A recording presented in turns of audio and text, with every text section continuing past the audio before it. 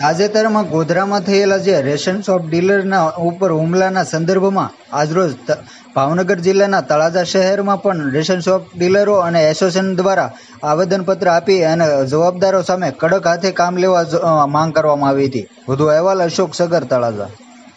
આજ તળાજા તાલુકા એસોસિએશન વતી શ્રી મામલતદાર સાહેબ તળાજાને આવેદનપત્ર આપવામાં આવે છે. કારણ કે જે સોફ્ટવેર અને સરોવર ધીમા ગતિ હાલે અને પબ્લિક જ્યારે એકારી બધું ભેગું થઈ જશે કોઈ રાહત ખમતું નથી.